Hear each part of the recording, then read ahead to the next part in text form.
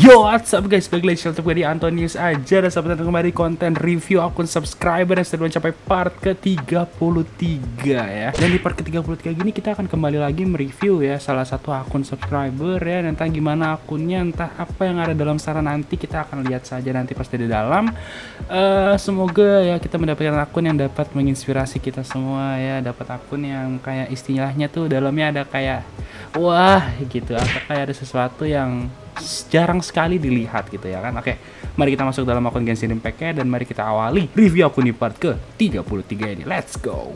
Sekarang gue ada dalam akun di part ke-33 bersama dengan Ether ya. Jarang sekali hanya ada Ether di sini. Oke, ada Ether di sini dengan nama akunnya ini The Black 46 gitu. Anjay. Atas akun atas nama Black 46 sudah berdebu.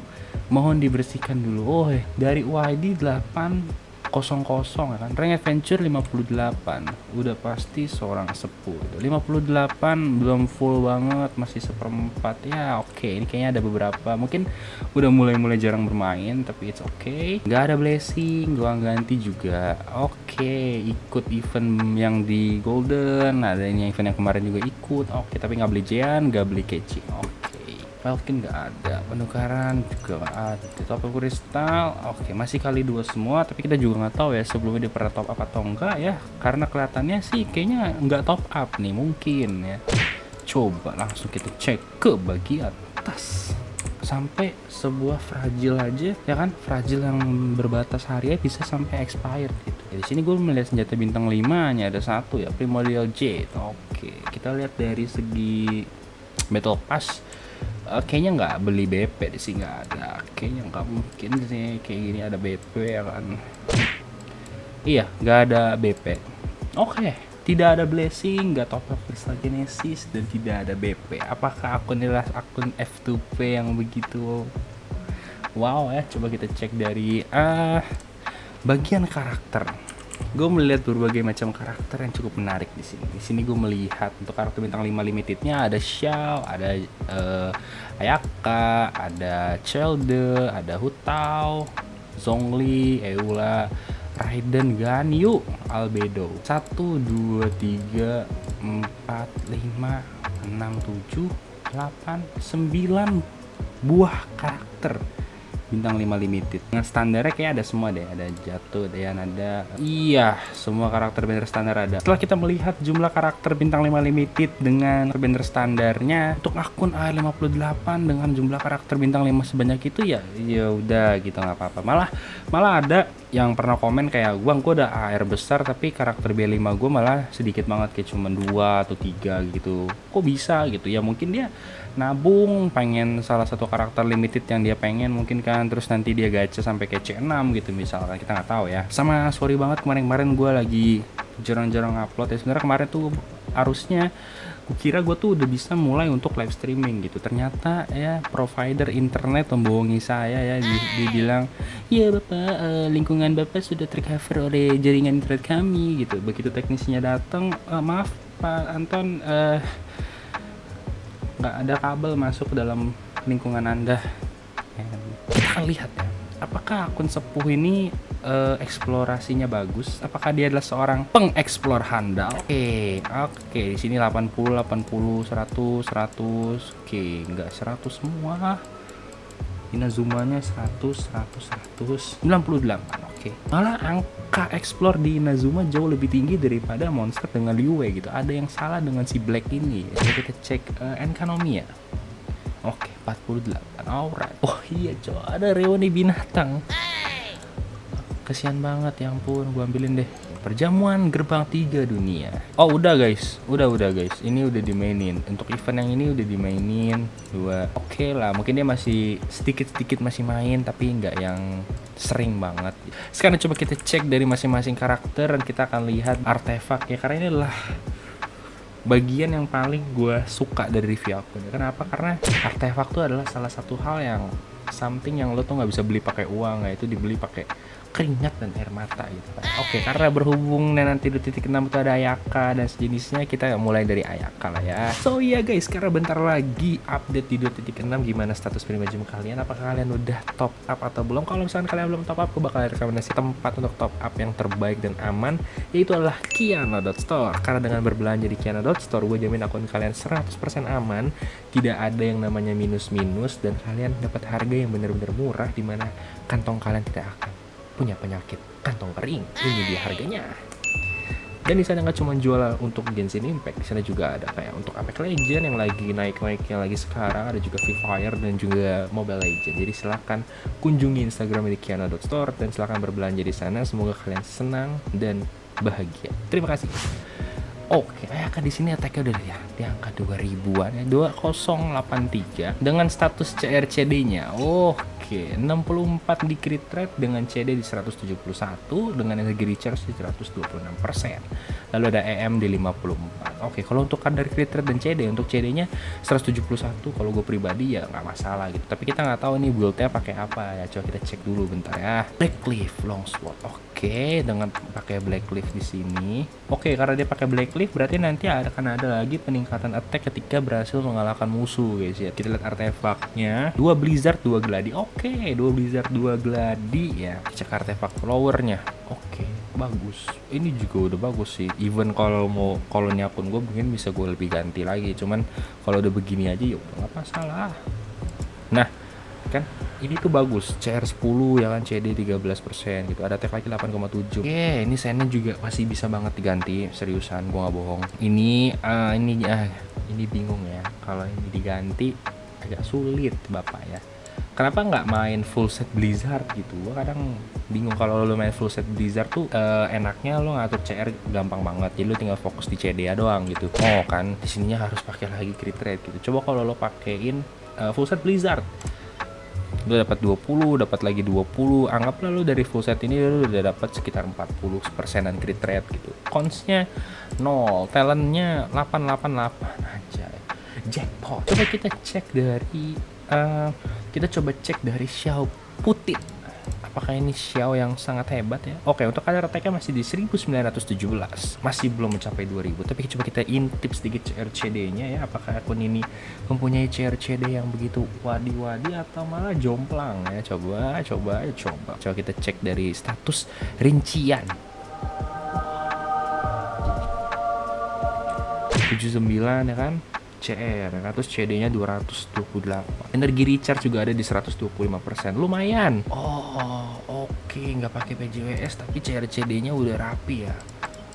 Oke okay, untuk attack juga pasti 2000 sih gue yakin pasti 2000 cuman ya awal hit pertama mungkin damage-nya masih yang belum terlalu besar. Tapi kalau udah masuk pas udah ngalahin musuh kan attack-nya naik. Dan itu peningkatan damage-nya di situ.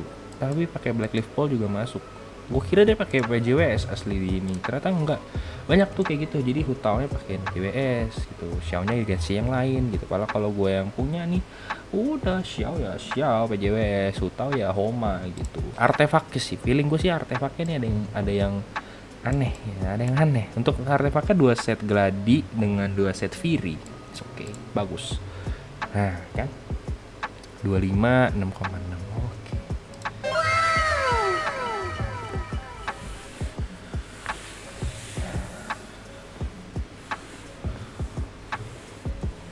gue udah berasa nggak enak dari awal tuh ya. Kayak baru pertama kali gue melihat indahnya lava walker tuh di sini doang gitu. Kitret ya kan? Cakep er tag 43 bang. Set 43 ini bang. Set no. 14,4 bang. Kenapa? Karena aneh. Gue tuh melihat gue kira dia akan pakai PJWS ternyata setelah gue lihat kok Black Cliff Paul anjay. Ternyata dalamnya wadah brother brother. Menjerit jiwa ini brother tuh. Ini lumayan sih bagus seriusan. No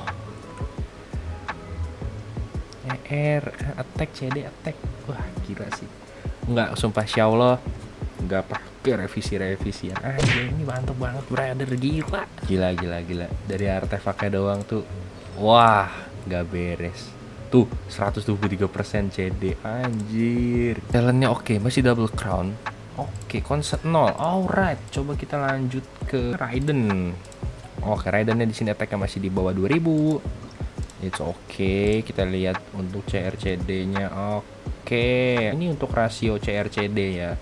Ini jujur uh, dibilang balance ya masih tergolong balance tapi kalau dibilang kecil kecilnya di CD sama di CR juga maksudnya kalau CD nya sampai 150 ya CR naikin lah di 60 gitu supaya perbandingannya nggak terlalu jauh untuk senjatanya pakai the cage oke. Okay. emblem of saber fate.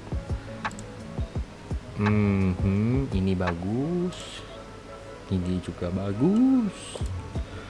Ini juga bagus. Uh, ba bagus. Tapi ini elektrodynamic bonus yang gue bilang. Kalau ini pakai attack persen mungkin juga bagus. Ya tergantung kenyamanan sih sebetulnya pak. Ya gue juga bingung pak ya. Oke lah untuk oh untuk Sen of Ionnya malah yang pakai attack persen nggak pakai ER gitu ya. Tapi ini ya is oke okay sih. ER kecil nggak sih guys? 228 gue tuh kadang masih bingung Raiden tuh kayak terlalu banyak perdebatan gitu. Ada yang bilang ER tuh Raiden minimal 250 bla bla bla bla bla ada juga yang bilang udah 220 cukup segitu gitu. Jadi banyak banget pertentangan. Makanya gue selalu menyarankan nggak usah lah lo terlalu memusingkan hal tersebut gitu. Yang penting selama lo pakai itu enak dan nyaman ya udah gitu. Ini kan Genshin men. Ini game yang bebas dan ini game lo gitu ini dunia lo jadi terserah lo isinya mau kayak gimana. Lo nggak usah pikirin omongan orang anjay.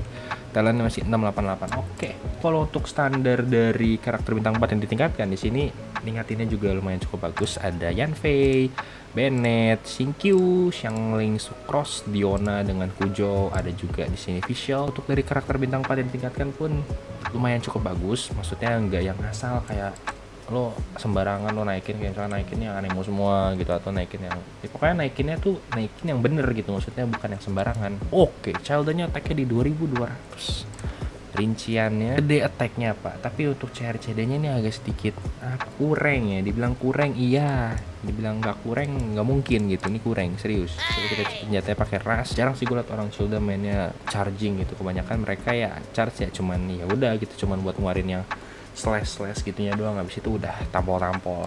Artefaknya ah oh artefaknya apa? Ya belum di build kayaknya mungkin ini ada yang diganti ya. Kita coba cek dari sini. Oke. Okay. oke okay, boleh nggak apa-apa. Ini masih boleh banget diganti ya. Ini juga ini oke. Okay. memang untuk artefak beberapa karakter masih banyak yang mesti diganti tapi kalau untuk Xiao-nya sih udah.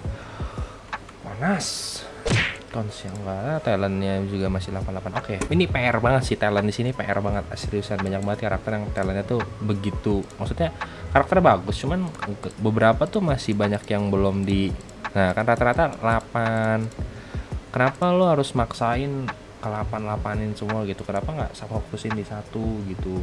Fokusin fokusin fokusin fokusin daripada di randomin. Tapi ya serah orang sih Woi murahnya pak, set 9 juta, woi bentar lagi mau 10 juta ini. Banyak amat pak, emang gak dipakai-pakai itu murah, buset. So oke, okay, gue rasa untuk karakter cukup ya Karena gue mau coba ngecek dari segi party. Abis itu kita hajar untuk tes damage Tapi, oh gue lupa. Uh, Untuk spiral ya. Di sini kan spiral masih ruang 8 lantai 3 kita coba cek dari spiral-spiral di sebelum-sebelumnya. Apakah akun ini selalu full star atau enggak? Silahkan tebak di dalam hati kalian pernah nembus 36 oke belum. Belum sempat tembus. Silahkan drop di kolom komentar. Alasan apa yang menyebabkan akun ini tidak bisa full start apakah dia kurang tryhard atau apakah talent dari masing-masing karakternya masih kurang? Gue mau tes damage ya tapi gue nggak mau ke sini. Alasannya simpel guys. Udah nggak ada teleport ya gue nggak bisa jalan gitu. Jalan tuh capek kita ke bunga bangke aja lah. Toh cuman mau melihat doang gitu. Mati mau udah pasti mati lah. Um, untuk Xiao Pudin ya Xiao Bennett Jian karena Jian channel. Kayaknya Jiannya gue ganti Al Budi tapi Al Budi belum ditingkatin banget. Ya udah lah ya sesuai sama partian dia lah biar nggak ribet. Mari kita mulai ya mengetes Dimak. Dimak kita mulai dari uh, bunga kecil yang satu ini ya. Bunga palsu. Oh, oh, oh, oh, oh, oh. Oke, 19.000. 21.000. Oh, wow. Eh nggak nyampe dong bapak. Kita coba tes guys ya. Kita coba tes. Oke. Ini dia. Kiera. Eh, Upin. Mana cok? Damage Oh, ya ngelek gua anjing. 50 ribuan sekian ya. 50 berapa tadi? Aduh. Cair, cair, cair, cair. Eh, padam maksudnya. Padam, padam, padam. Padam, padam, padam. Padam, padam. Oke, sudah padam. Tapi Bennett-nya belum ada ulti. Energinya recharge apakah ada? Xiao-nya juga belum ada ulti. Wah, crit 23.000. Crit lagi 25.000. Mari kita mulai. Ah ah ah ah ah ah Mina mampus. Jangan nge-lag anjing. Oke. Oke. Alright. Ini kalau tadi CRCD nya segitu rapinya tapi pakai PJWS let's say pakai PJWS gue yakin banget bisa lebih dari segitu. So, Oke okay guys, thank you for watching. Terima kasih banget Black udah mau review akunnya di part ke-33 dan ya sekali lagi maaf ya kalau di video review akun di channel ini ya setiap kali tes damage, damage tidak mungkin lebih dari jutaan gitu. nggak mungkin, pasti di bawah jutaan, bahkan di bawah ratusan ribu kadang ya. Kadang adalah 100 100 mah ada dapat. Kadang. Thank you for watching. Jangan lupa di like video kalau kalian suka. Sampai jumpa di video gue berikutnya. Bye bye.